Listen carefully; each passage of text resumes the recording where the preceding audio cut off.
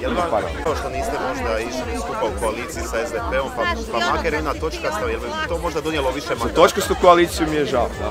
Za točkastu koaliciju mi je žao jer se upravo pokazalo ono što smo rekli.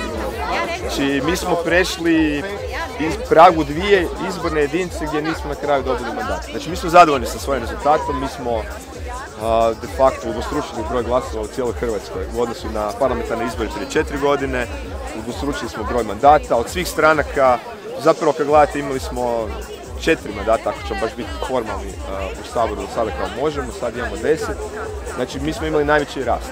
Međutim, isto tako je činjenica da smo išli u točkastu koaliciju u ove četiri izborne jedinice, što smo i predlagali. Međutim, nije bilo za to sluha, nudilo se nam se mje- mjesta koja smo zapravo i imali. I sad se to i vidi po rezultatima, a tada smo ih i tvrdili da ih imamo. To, za to mi je žao, ali dobro šta je tu je. To opet ne bi bilo, to naravno ne bi ništa tu promijenilo drastično u ovoj situaciji. Dalje mi ne bi imali dovoljno za sastavljanje većine.